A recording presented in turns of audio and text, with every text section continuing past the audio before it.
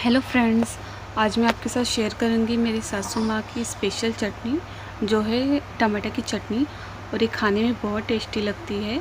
सो मैं आपके साथ रेसिपी शेयर करती हूँ। तो इसके लिए मैंने लिया है टमाटर। तो यहाँ पे बारह टमाटर है मीडियम साइज़ के। आप अपने हिसाब से कितने भी टमाटर ले सकते हो। और साथ में मैंने लिया लहसुन, अदरक और मिर्ची। आप तीखे के हिसाब से मिर्ची ले सकते हो। तो मैंने दो मिर्च लिया है, क्योंकि मैं बाद में लाल मिर्च का पाउडर भी यूज़ करने वाली हूँ। तो ये मैंने टमाटर अभी काट लूँगी। तो मैंने टमाटर काट लिए है। इसे रफली काटना है कैसे भी। और इसके साथ जो लहसुन, मिर्च और अदरक है, उसे डाल देना है। और फिर इसे ग्राइंडर में पीस देना है। तो आप अपने हिसाब से तीखा ले सकते हो, लहसुन और अदरक भी अपने हिसाब से ले सकते हो। तो मैंने इसे पीस दिया है कढ़ाई गरम करनी है और इसमें मैंने सरसों का तेल यूज़ किया है। आप जो तेल खाते हो, तेल यूज़ कर सकते हो। तो मैं तो मैंने इसमें जीरा, राई और रखा मेथी लिया है जिसे हम पचफोरन भी बोलते हैं, जो पाँच मसाले रहते तो वो लिया है मैंने और इसे अभी अच्छे से पहले फ्राई कर लेंगे, जो पचफोरन है। अब इसमें जो पेस्ट तैयार किया हुआ है, वो मिलाएँगे और इसे फिर चलाएँगे तेज़ आँच पे। तो मैंने सब रेडी कर दिया था, पीस के। अभी मेरी सासू माँ में बना रही है।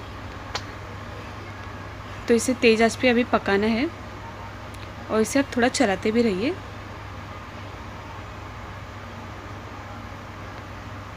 और इसमें मैंने फरी भी डाली, जो आम की फरी रहती है, जिसे खटाई बोलते हैं। मोस्टली जो गाँव में रहते रहेंगे, उन्हें पता रहेगा। देखिए, ऐसा दिखता है। अगर आपके पास ये नहीं है तो आप आमचूर पाउडर भी डाल सकते हो। और चाहिए तो आप थोड़ा इमली भी डाल सकते हो, नहीं तो इसके, इसे स्किप भी कर सकते हो। तो अगर आपको ये मिल जाए तो डाल दीजिए, नहीं तो आमचूर पाउडर डाल दीजिए। अगर नहीं डालना है तो नीट भी डाल सकते हो। तो मैंने इसे यूज़ किया और इसमें अभी लाल मिर्च का पाउडर डाला है मेरी सासू माम ने। और इसे अब मिलाना है।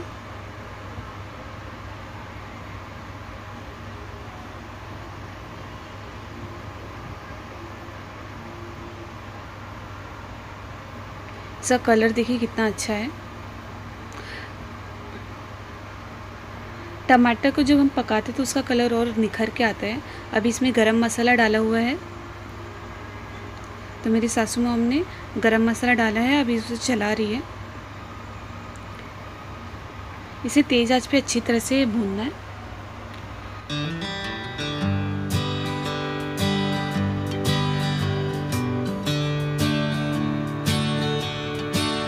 और इसमें भी उन्होंने गुड़ डाला है। जो नॉर्मल गुड़ रहता है, वो है।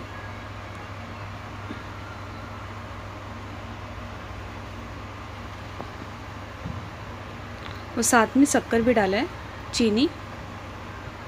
अब अपने हिसाब से आपको जितना मीठा चाहिए, आप उतना मीठा बना सकते हो। कम मीठा या ज़्यादा मीठा अपने हिसाब से बना सकते हो तो उसके हिसाब से आप गुड़ और शक्कर डालिए। अगर आप सिर्फ़ गुड़ डालना चाहते हो तो गुड़ भी डाल सकते हो। और अगर आपको गुड़ नहीं डालना है, सिर्फ़ शक्कर डालना है तो आप शक्कर भी डाल सकते हो। अब इसे अच्छे से मिलाना है। आज तेज़ी रखना है।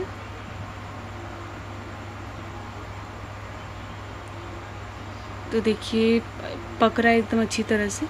और थोड़ा उसमें नमक डालना है। ज़्यादा नहीं, थोड़ा सा बस, आधा चम्मच। और इसे फिर अच्छे से वापस मिलाइए।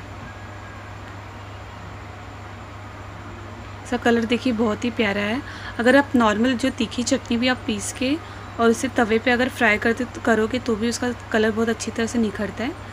और इसमें जो आ, मिक्सर के वाटी में जो लगा था टमाटर प्यूरी तो उसे पानी मिला मिला के उस उसमें डाल दिया गया चटनी में।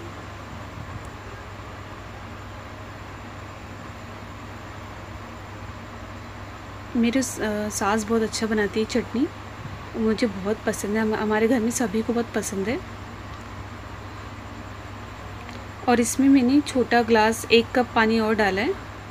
यानी मेरी सासू मम ने एक कप पानी और डाला है और इसे अभी दस मिनट तक पकाना है। बस अब इसमें कुछ नहीं मिलाना है, बस अब इसे ढक के दस मिनट तक पकाइए।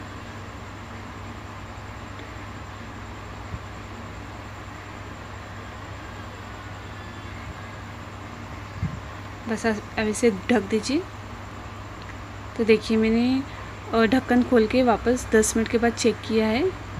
तो इसे रोटी के साथ खाना है तो ये देखिए थोड़ा गाढ़ा हो गया है। तो अभी मैं इसे बंद कर दूँगी, क्योंकि थोड़ा ठंडा होने के बाद और गाढ़ा हो जाता है। तो ये टमाटो की चटनी तैयार है, इसका टेस्ट बहुत अच्छा है, बहुत। एक बार आप ज़रूर ट्राई कीजिए, और मुझे प्लीज़ कमेंट में बताइए आपको कैसा लगा। और प्लीज़ इसे ट्राई कीजिए, आपको हंड्रेड परसेंट बहुत पसंद आएगा। और ये बहुत ही अच्छा लगता है, बहुत यम्मी लगता है। इसे आप रोटी के साथ खाइए, ब्रेड के साथ खाइए। समोसे के साथ खाइए, वड़े के साथ खाइए, बहुत टेस्टी लगता है, आपको बहुत पसंद है, आप ज़रूर ट्राई कीजिए। सो ये मेरी थी सासू मोम की स्पेशल रेसिपी